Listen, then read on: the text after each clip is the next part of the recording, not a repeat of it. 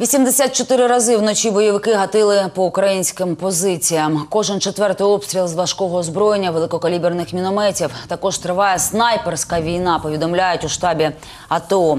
На ключових оборонних пунктах українські військові активно ведуть вогонь у відповідь. У Зайцевому та Майорську ворог регулярно застосовує важке озброєння. Обстріли відбуваються і у темну, і у світлу пору. За добу, що минула внаслідок бойових дій, загиблих серед українських військовослужбовців немає. 11 бійців дістали поранень.